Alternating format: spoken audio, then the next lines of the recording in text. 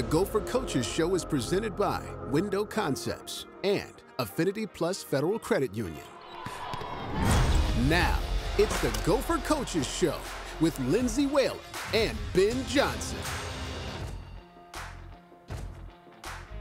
Welcome into the Gophers Coaches Show. I'm Ahmad Hicks alongside KFAN's Justin Gaard and, of course, Minnesota head basketball coach Lindsay Whalen.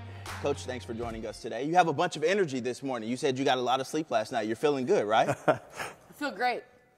I feel great, well rested, um, excited about the day, and uh, I love our team. Okay. And so, uh, you know, today's a, a day of, uh, we have practice and, um, you know, lots of film, obviously getting ready for Ohio State, and um, a lot that we can take from um, the Maryland game, um, you know, before the new year. And um, Justin, you were there. So, I was. Um, you know, it, it just is, uh, I, you know, obviously, um, you know, we want to win and everybody wants to win. And, um, you know, the Maryland game was, um, was tough at times, but we learned a lot. And, um, you know, so I'm fired up about our group. And uh, now we welcome in the number three team in the country in Ohio State. Uh, they're playing really well.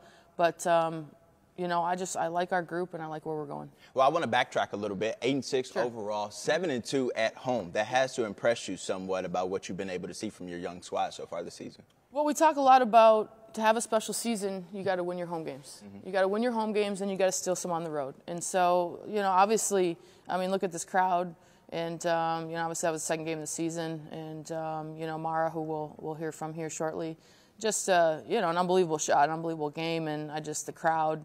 I think you can just feel uh, when you come to the barn. And, uh, you know, the snow will be stopped by Thursday night. so come out and watch this group. You know, they're a lot of fun. Um, I was watching a lot of the Big Ten games over the weekend, and they're packed. I mean, packed houses. And so, um, you know, I want, you know, people in, in our community to, to really come out and, and see this team and watch what this, this group is doing. Got a, a group that you can really, um, you know, get to know and now follow for, um, for several years. So, um, you know, they're exciting, they're fun, they have great resolve. We play with great energy, and, and effort is always there. And now it's just some execution pieces and some things that you go through as a group for the first time. But it's um, it's definitely, geez, what's going on with my hair? Um, it's definitely a, uh, it's definitely. My mom's going to say something about that. It's definitely a great group, and um, I'm just excited. Like that's why I'm so upbeat. Fun is the right word. We'll work Yeah. on your hair as the season goes on as well. It's the first show. It's the first time we've been in person in like three years. I we, have, we haven't had to hit a It's Zoom always link. been Zoom. Yeah, so we're all good. Uh, but you mentioned, and, and, and Ahmad mentioned the youth of the team. Yeah. Obviously, a lot was said about the freshmen coming in. You could even throw Katie Borowicz in there as a, as a third year freshman who didn't get to play a year ago. So, how have you seen them grow and develop just even in this you know, three or four month time? Well, well, you know, pretty, um, you know, steady. You know, I think it's been, it's been. You go through the non-conference and and you come in through, you know, even backtracking to June. You know, you go June, July, some of August with workouts, and you get your preseason in September, and um, you know, you get some recruiting visits and things like that, and and you kind of just, you know, kind of see them evolve and progress, and so now.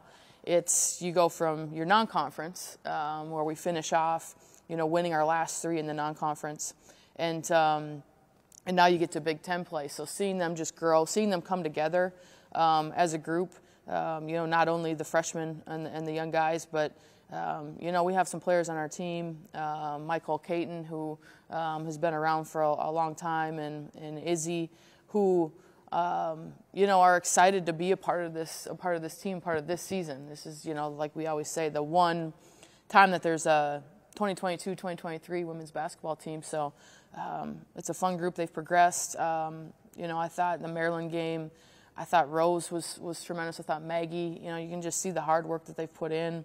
Is exciting to see. So you can pick out different moments that people have stepped up in, individually and and they continue to play for each other and continue to work. And yesterday was a was a great day of practice. Uh, I feel like really good about it, and you know we just you know like what you what you do is what we all do is one day at a time. Now, Coach, in those six losses that you guys have this year, four of them have been a, by a combined 19 points. Is there something to say about those close losses, or are there no moral victories with you guys? You know, I didn't think you were going to bring up the losses. So, um, no, uh, yeah, I mean, a little bit of it's, you know, you go, um, yeah, these games, a lot of them have come down to, you, you think of like, you know, Kentucky, Wake, you know, Penn State, which we win, Lehigh, which we win, um, Virginia, I mean, you can go down the list, and like you said, I, th- I think it's um, it reminds me a little bit of of 2010 with the Lynx. Mm-hmm. We lost probably seven or eight games that year, one or two possessions, and a little bit of it is is figuring out, you know, late game and figuring out those moments. Um, we talked about yesterday in practice, like um, getting those big stops that we need. Like you know, yesterday it was uh, we're up two against the scout team with you know, a minute 33 to go. So now we need, you know, stop, score, stop. We need, we need a stop. Now it's understanding that, that big stop that you need, understanding those moments, and then that big possession where you need to execute. And so a little bit of it is, as a group, you have to go through, you know, some of the good, we've had some good, and some of the like heartache that you have to go through. So the next time you're in that situation, you're that much more locked in on attention to detail. Right. Okay, this is the angle of my screen. Mm-hmm. Um, okay, now at this point we're switching the ball screen, or we're gonna hard, or we're gonna you know hard header trap the ball screen. Maybe a game before, you know, we didn't do it to, to the best of our abilities because you know you, you, you haven't gone through it before. Now you go through it, you you find some success, you find some heartache, and um, you know I think that's how teams and players elevate from some of those wins and losses in those situations. So like you said. Um, you know, a lot of those games have been close, and we're, you said we're four games away from right. being, you know, whatever. Then it would be my math, you know. 12 and 2. Is okay. Thank you. No problem. Uh, I got you. I, and I'm not I'm not good at math, I but I got no you. Idea. So, so I was out. Simple so you math. think you're eight possessions away from being 12 and 2. Right. You know, and so it just, like I said, a little bit of this is, is stuff that we have to go through, and and just um, us as a group, as coaching staff, and as players, is remaining positive, staying positive, learning from um, what we can, and and continue to move forward. And how much, especially in Big Ten play, do you learn from the turnover part of that when it comes to valuing the ball and possessions? You know, you look at the Maryland stat sheet; everything looks even. Yeah. Except turnovers yeah, yeah, and points off points turnovers. Turnovers. I mean, yeah. there's there's the difference right there. In Iowa, same thing. There's you know there's turnovers there. You can't turn it over against good teams. The passes that you could get away with in, um, you know, whether it be high school, whether it be non-conference, a lot of that you, you just can't get away with it against Maryland. There's too long um, Ohio State. They're just um, they're long, they're tenacious, you, and so you have to um, a little bit learn that on a little bit on the fly because because you've always been able to make this pass. You've always right. been able to get it through that window, and now and now you can, and it's something that I had to go through as a player, and and everybody does. So our guards know the key to beating Ohio State on Thursday is taking care of the ball, and and we know that the ball is going to be in uh, Katie's hands a lot, Mara's hands a lot, Amaya is Michael. They got to take care of it. And um, we had 19 assists. We score 85. You know, we we score enough against Maryland. We we I, I love the 19 assists. So what we did is we made a pact that we were going to leave the turnovers in 2022. We're going to bring the assists with us, and um, and get excited for the new year. Now that Penn State game, a double overtime thriller, which I'm sure you guys were thrilled that you were able to pull away late. But what did that tell you about your team, their resiliency and their perseverance to go through a tough challenge like that, an early conference game? Well, it took two years off of all of our lives, but um, that, I mean that shot from that kid, I mean that was unbelievable. We th- we think at that point we haven't won, but we, you know, we're a team. Like I said, our resolve, our energy, like you have to play, you have to guard, and you have to play every inch for every second. I mean. I don't know many players that are going to go get fouled in that situation like Katie, like right here with, you know, and it is a foul with one point whatever seconds. We have no timeouts. We got to bring it. And then we got guys who just, you know, you talk about, you know, ice in your veins and things. You know, Katie hits these two, then Mara hits a, you know, before that she hits three free throws in a row. So it was a, a, a classic and um, just a lot of, like I said, a lot of resolve that our team has to, um, to be able to persevere and obviously a huge Big Ten win. And, um, that was, you know, one of the one of the better games that I think, you know, that we've all, you know, seen and been involved in. So it was just, uh, gosh, like now I want to go back and watch that game because that was unbelievable. that was an unbelievable. We all I know, I know, I know. So it was fun, and but hey, listen, to me, it's and, and Teri Moren said it two nights ago. Uh, after they played Nebraska, I don't know if we have to get to break, but this is the best women's basketball conference in the country. It is. I think it is. Top to bottom, it is. Uh, you see Illinois the other day beating Iowa. Um, you know, you have an overtime thriller with Indiana, Nebraska the other day. And um, so why wouldn't you be excited and why wouldn't you want to play in these, these games and, and go in with a group that's ready to learn and ready to work? So um, it's the best conference in women's basketball. It's what, it's, it's what, you know, it's what we're here to do and compete. And so, uh, you know, a lot of games like that you're going to see throughout the year. Touched a little bit on the returners. Obviously, Katie Borowicz has, has started at, point guard, Yeah. played a lot, has the ball in her hands a lot. Rose, what a game she had against Maryland. Yeah, And, and uh. Maggie, too, has also really, I think, found herself here the last month or so. So, what's it been like with those three returners? You know, the three core players from a year ago that stuck it out, hung around Yeah. it, and then developed into important pieces. Yeah, well, uh, for a lot of a lot of the postseason, well, the whole postseason, we played a lot of three on three, and uh, we did a lot of skill development. We did finishing school every single day, so it was really, um, you know, we talked a little bit the other day as a team on things that you know as you as you finish the year, just what you're um, like what you're grateful for, what you're thankful for for that year, and I just. I, I can't tell you how um, the entire team how, how grateful I am um, for all of them to keep um, you know keep believing and keep believing in themselves and keep believing in the program. And um, you know those three guys. You know there was you know a point when obviously there were some tough days, but there was a a point when when they could uh, you know made a decision. Um, you know whether they wanted to continue here or elsewhere, and they they they stayed and they worked and they worked and they worked. And um, like I said, it was a lot of days for about a month where it was the three of us, um, three of them, sorry, and you know me, Kelly, Shimmy, the coaches here working out, and so then to see, and then you see them have a game like that, even within a loss of Rose, just her efficiency with with 22 and 9, 10 for 15. I mean, she was, you know, she was tremendous in that game. She was on balance. You have Maggie who, you know, has been working a lot on her her shot and her outside um, you know, efficiency and things like that. And then she comes out and has 16 and 8, but it's because she's she's worked every day after practice for two straight months because she knows she wants to get to this level. Now she's you know out here after last year injuries and things like that, and so to, for her to have a game like that, you know, Katie, you know, you see a game. Um, you know, at, you know, on the road against Liberty, where she has, you know, 23, a really efficient game the Penn State game, I thought she was great. Um, you know, and so you see those guys really come through. Obviously, we saw the Penn State highlight of Katie getting fouled. You see those guys have success when there was times in March and April when, you know, it was a long way away of seeing Right, that right. Success. So I'm, I should wrap up here. Everything's but I'm really coming. proud everything's everybody. coming together pretty much for the team. It's all good. We love to hear what you have to say. Now, coming up, she grew up only a couple of miles away from campus, but yet everyone in Minnesota and around the basketball world is starting to know her name. Mara Braun joins the set next. We'll see you right back here for more on the Coaches Show. Watching the Gopher Coaches Show. Welcome back to the Gopher Coaches Show. I'm Ahmad Hicks, Justin Gaard, Lindsay Whalen, and the freshman phenom, Mara Braun. So we're going to dive right into it. You were one of the top recruits coming out of high school, one of the best players in the country. What sold you on Coach Whalen's program, and what made you want to become a Gopher? I mean, I watched her growing up. She was definitely one of my favorite players. Um, she was just so fun to watch and just her energy and passion for the game. So I think, you know, her coming here and wanting to, you know, rebuild that and have players, you know, like us to stay home and do the same thing she did was kind of the main thing for me and just the opportunity to come here and be able to make such a difference. Can we talk about the transition from high school to college? How big of an adjustment has that been for you, or has there been an adjustment period? there's been a lot of ups and downs already and you know it's so nice to have her and rachel to be able to kind of help me out because you know they went through the same thing. So you know the ups and downs i think the fact that you know i went and hit a buzzer beater my second game you know didn't really help the whole situation and being able to deal with all the lulls too. But you know it's just kind of about finding myself in each game and being able to yeah that that was was, a crazy. that was I mean, that was a.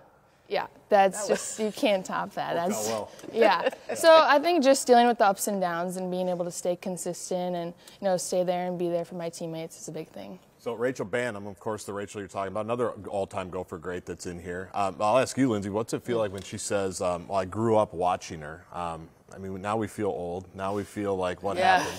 But Yeah. that's the the reality, right? So what's Yeah. it like to even have Rachel as part of that too, as someone who's has done this walk to help out the ones that are doing it now? Yeah, I mean, I think it's um, it's what you want in a program. You know, I think you want to have you want to have that of players that have played here, have had um, you know great experiences, ups and downs, gone through all that, and then it's our jobs to help the next generation. And then right now, you know, it's it's Mara's time, Amaya, all these guys, and then there's somebody in the crowd that's watching them that's gonna yeah that's gonna Yep. be out here someday you know and so i just you know i think that that's what you want and um, you know, so and everybody from you know, for we you know we have a team of players from you know all over the world. Um, you know, but it you know it's a little it, it's special when you're when you're home and when you stay home. Um, it's, it's where you grew up, and you know your friends, family, um, and everybody's able to to have uh, you know to be able to participate in it. And so, I think it's um, I think it's special, and like I said, I think it's all about you know helping through different times of ups and downs that that players and just you know people in college in general go through.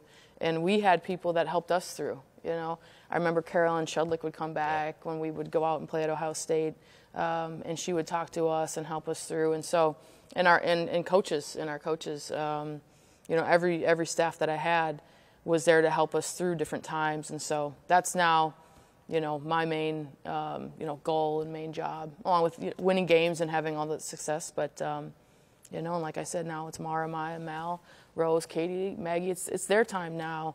Um, it's our job to prepare them as best as possible, um, and to make sure that that the team is continuing to get better and working. But it's um, it's their time to go play, which is which is exciting, and I'm I'm happy to be part of their journey. Speaking of being exciting, your play is exciting on the court. Now, I want to do something by looking at the numbers. Paige Bueckers, you played her in high school, obviously. She was a phenom just like you. Her freshman season, she averaged 14 points and four assists in 29 minutes. So far this season, you're averaging more points than her, 18 points per game. As a freshman, you're averaging more minutes per game. What does that say about your level of play? And do you think that you're getting the recognition that you deserve? I want to ask Coach that too, but I want to start with you. I mean, Paige is a great player. Um, played her for you know two two years. Played her a bunch. Yeah, I know, right? um, she just That to be Hopkins, able You're to. not getting that call. No, that's know. tough. Yeah, you're That's not tough. getting that call. That's tough.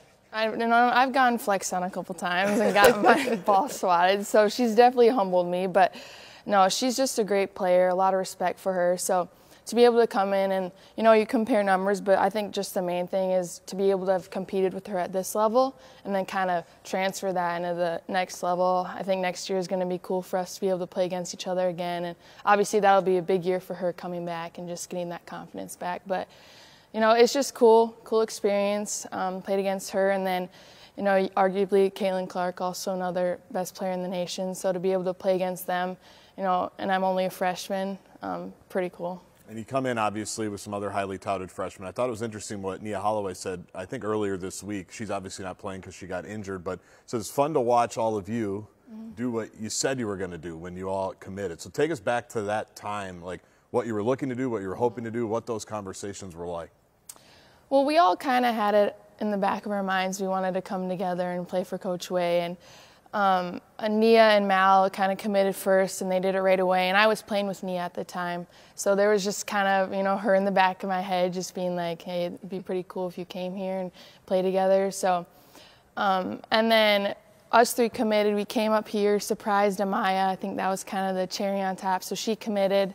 Um, and from there, we kind of just become super close. We're all roommates. Um, you know, we have each other's back. One person doesn't have a very good game. There's, you know, three of us to pick them up. So it's been really cool to be able to grow with them. Um, and I'm just excited for the next three years with them.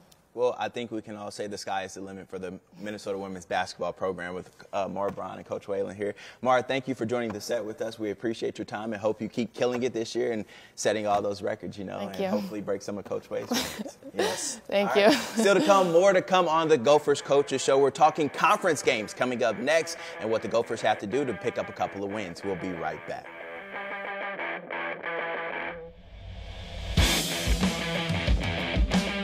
Back to the Gopher Coaches Show.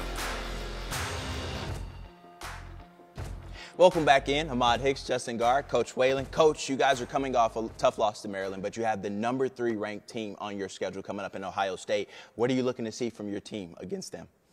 just continued growth. Uh, we talked after Maryland that sitting in the locker room that um, you know we come out and we're playing you know in the Big Ten, um, obviously uh, the, the the thriller of Penn State, and then we um, we go at Iowa, at Maryland, and then we host the three, number three team in the country in Ohio State at the Big Ten. So it's and every team is every team is um, is really good in this conference. Like I said, I think it's the best women's basketball conference in the country right now.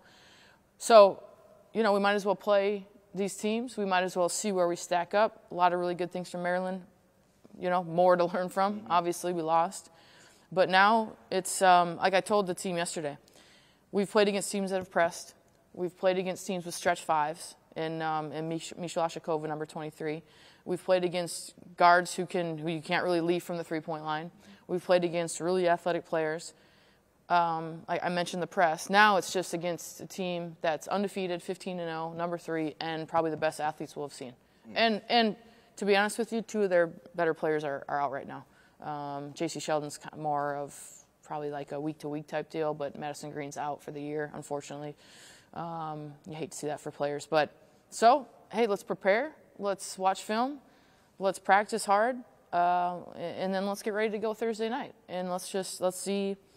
I want to see continued growth. Um, I want us to continue to come together as a group, and um, and continue continue to work. Okay. Now, I want to end the show on a lighter note. We've talked a lot about basketball. We talked about what you expect to see from your team. I want to talk about Lindsay Whalen's feet heat because every time that I see her, she has some heat on her feet. Coach, what are you rocking today? Where'd you get these? And how many shoes do you have? Well, those are nice. It's hard to say. That, those are fire. Oh, my. Hey, here's the deal. This says Air Force 182, where Uh-oh. I was born. That's kind of, I didn't even know that. uh, I just got these on, um, you know, you know, in 20 seconds, tell us how many shoes you have. 20, I, it's hard to say, but these maroon, um, you know, you got to go with them. The maroon, yeah. and it's it's really hard to say. I've been you getting your very team a pair of those. Fortunate. I um uh, well, no, we have got we have we did have you know Christmas, so we did have a little. Uh, Man, we're out of time. We'll we'll, we'll, we'll follow up on I that. I, I, I got some feed too, and I know that's people the coaches show with Coach Whalen and Justin. Want to see my I'm Ahmad. Have a great day, guys. I have to wait.